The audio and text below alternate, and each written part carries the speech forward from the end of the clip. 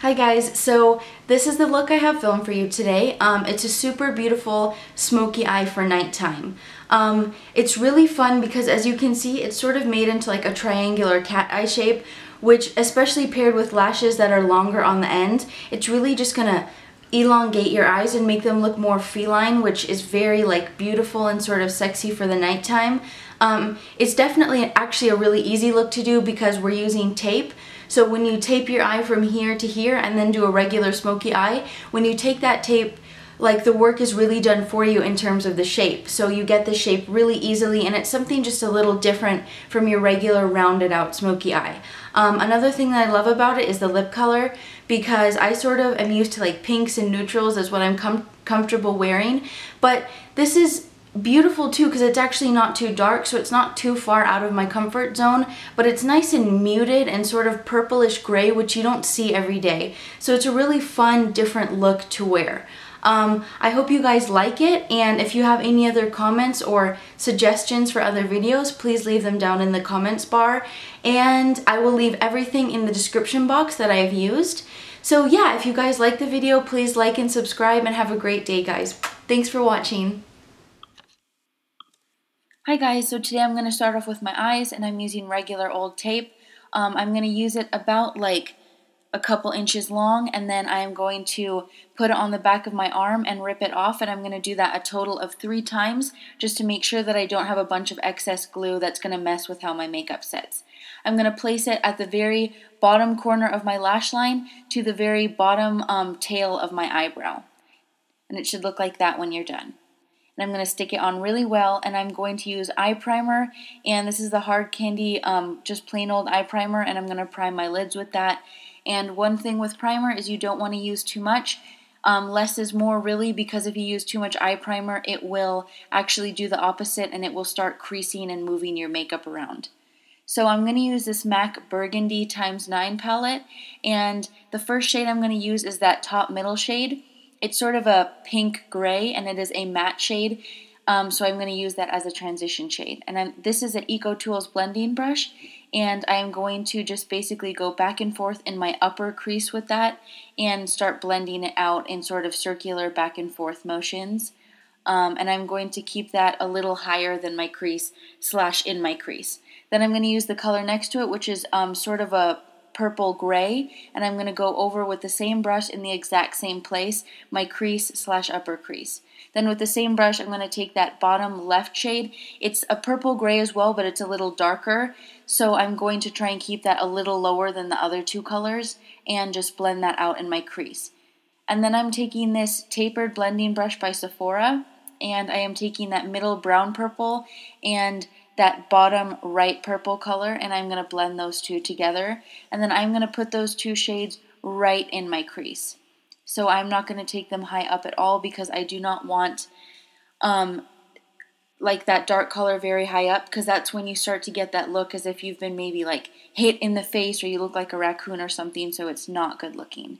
And I'm going to put that right in my crease and then I'm also going to, on the edge of my eye, take it down to my lash line and then bring it up ever so slightly towards where I have the, those first transition colors. I'm going to build that color up, but I'm not going to do that um, in the middle sections of my eye because I don't want to, of course, take that color very high up. But on the edges, I do want to add that little bit of lift, so I am going to bring it up a little bit right towards the tape on the outer edge of my eye. And I'm just going to keep blending that out since it's such a dark color. I don't want it to be very harsh. Then I'm going to take that uh, EcoTools blending brush again and I'm just going to blend that out a little bit more. Then I'm going to take this flat um, shader brush by Sephora and I'm going to use that bottom middle, it's sort of a shimmery um, pinkish red color, and I'm going to pat that on to my mobile eyelid. And I'm just going to pat, pat, pat that on, and I don't want to take that um, color very high up since it is shimmery. Then I'm going to take that blending brush again by EcoTools and I'm just going to blend all those colors out and blend them together so that there's no harsh lines. Then I'm going to take my Anastasia Brow Wiz in taupe and I'm going to just fill in my eyebrows. Then I'm going to take the Anastasia Tinted Brow Gel in Caramel and I'm going to um, set the eyebrows. Then this is the Maybelline Color Tattoo. It's like a cream eyeshadow and it is in the color Too Cool, so it's a frosty white. And I'm going to use that as a um, brow bone highlight and an inner corner highlight. And these are nice um, bright colors because you don't want your eyes to look too um, worn out by all of the darkness, so you want to add a nice bright light color. Then this is the YSL Touche Éclat Blur Primer, and I'm going to just put one pump in my hand and spread that all over my face. Then I'm taking the YSL foundation in BD40, it's the Touche Éclat foundation, and a wet Real Techniques Miracle sponge, and I'm just going to start patting that into my face. Then I'm taking two concealers. This is the NARS Radiant Creamy um, in custard, and I'm going to take that on my chin, forehead, down the nose, on the sides of my nose, and on the sides of my mouth where I get discoloration. Then I'm going to take the light warm shade from Urban Decay and I'm going to put that under my eyes. So the light warm shade is pretty, pretty light, so I don't like to use that all over my face because it will wash me out. Then I'm taking that same Real Technique sponge, it's still damp, and I am going to just buff that all into my face. And this is just going to sort of conceal your face a little more and add a little brightness to those areas that you want to be lifted a little bit. So under your eyes, you want it to be nice and bright, and then your chin and forehead, you want to add a little light to those areas as well. Then I'm taking this Bare Minerals Well Rested powder, and I am taking a Real Techniques setting brush. And this powder is really amazing because it is super brightening and a little bit goes a long way. So I am just setting my under eyes with that. Then I'm taking this Laura Mercier Secret Camouflage um, concealer and a double-ended liner brush by Tarte, and I'm just going to start pinpoint concealing some um, spots that I have. I'm just going to use patting motions with my finger. Then I'm going to use this Laura Mercier um, translucent setting powder with the same Real Technique setting brush, and I'm just going to set those areas that I just concealed with that um, concealer basically and I'm going to put that also a little bit on the bridge of my nose where I get oily. Then I'm going to take this Real Techniques all over powder brush and I'm going to set my whole face mainly in my T-zone with that Laura Mercier translucent powder. Then I'm going to take the Anastasia contour kit and I'm going to take that middle fawn shade. It is the lightest, most cool tone um, contour color. Then I'm going to take this e.l.f. complexion brush and I'm going to start contouring my face. So I'm going to take it on my um, the hollows of my cheeks, and I'm going to do that in an outward and upward motion towards my hairline. Then I'm going to take a little bit on my, uh, my forehead hairline and on my jawline as well. Then I'm going to take this Real Techniques, um, it's a flat foundation brush, and I'm going to use that same color and put that down the sides of my nose. And I'm going to take this e.l.f. concealer brush and I'm going to blend that all out just so I can contour my nose a little. Then I'm going to take this Real Techniques uh, blush brush and the Makeup Forever 151 bronzer. And I'm just going to add a little more of that over all the areas where I contoured, just to add a little more uh, warmth and dimension since it's such a cool tone. I want to do that a little more on my forehead to add warmth, and just on the very tops of um, where I contoured on my cheeks, not right in the hollows, and also on my jawline. Then I'm going to take this Hourglass Mood blush, and I lost the clip where I actually applied it, but that's a Sonia Kashuk blush brush. So I applied that blush. Then I'm going to take this Mood um, Light Powder by Hourglass as well and an e.l.f. fan brush and just put that over the tops of the blush.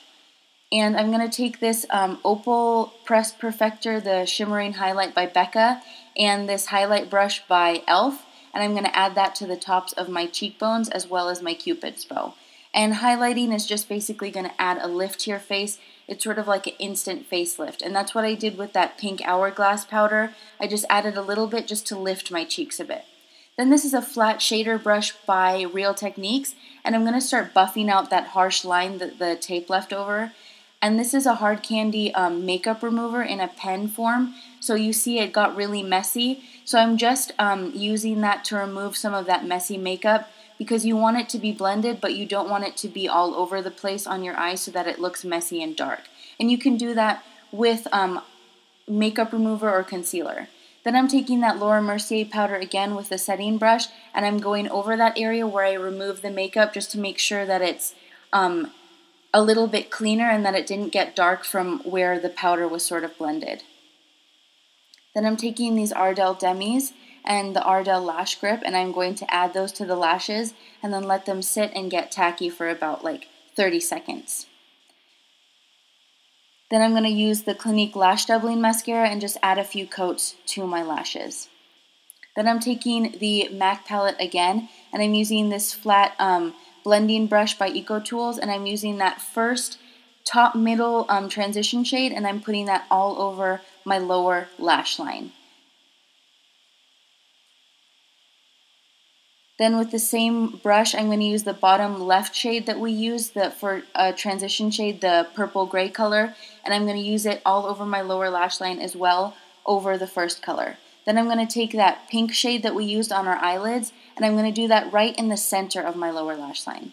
Then I'm going to use the mixture of those two dark colors, the middle brown and the purple, and I'm going to use that right on the outer edges of my eye. I'm going to smoke that in, but try and keep it on the outer edges because you want it to go from light on your inner eye to dark on your, um, the, your outer eye. Then I'm to um, apply the lashes with my tweezers and make sure everything is nice and set.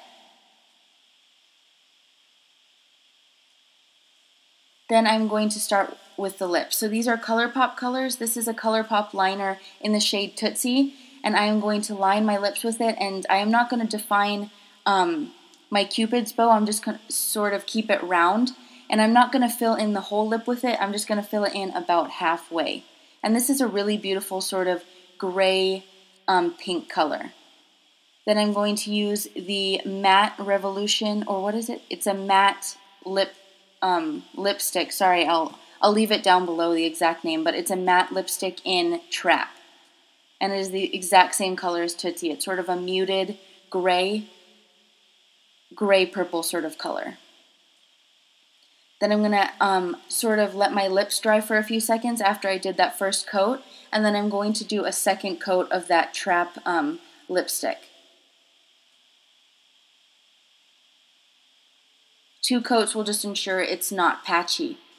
And then I'm going to add this Rimmel um, waterproof eyeliner in uh, the nude color. And I'm going to do that on my um, inner rim of my eyelid, of my lower eyelid.